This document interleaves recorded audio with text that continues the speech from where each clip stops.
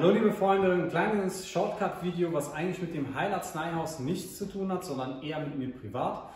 Ja, viele haben tatsächlich über ja, unsere Videos oder gepostet, Noah, nutzt du Steroide? Und es geht tatsächlich so ein kleines Gerücht um, damit wollte ich nur kurz aufräumen. Ich nutze keine Steroide, das Einzige, was ich nutze, sind Arzneikräuter, Pflanzen, Vitamine, Disziplin und gute Ernährung.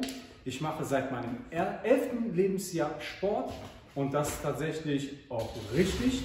Meine erste Ausbildung war auch Sport- und Fitnesskaufmann und medizinischer Trainer. Das heißt, ich habe wirklich Ahnung von dem, was ich auch tue, bevor ich noch das Heilpraxisstudium gemacht habe. Und jetzt kommt der springendste und wichtigste Punkt an der ganzen Stelle. Ich habe mich angemeldet für die deutsche Meisterschaft in, ja, im Powerlifting, das heißt also im Gewichtheben.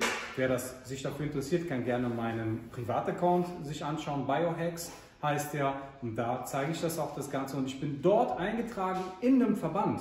Und dieser Verband prüft selbstverständlich auch daraufhin, ob hier Steroide oder sonstiges genutzt worden ist.